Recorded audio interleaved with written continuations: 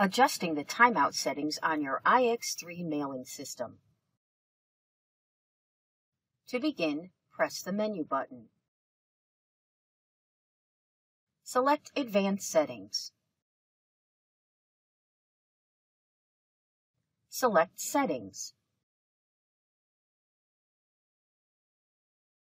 Select Timeout Settings. The sleep timeout setting is used to adjust the amount of time the machine is inactive before the machine enters sleep mode.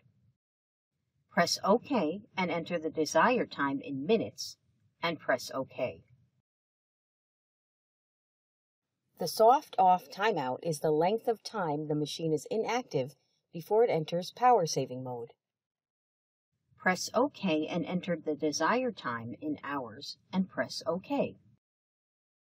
Press the Home button to return to the home screen.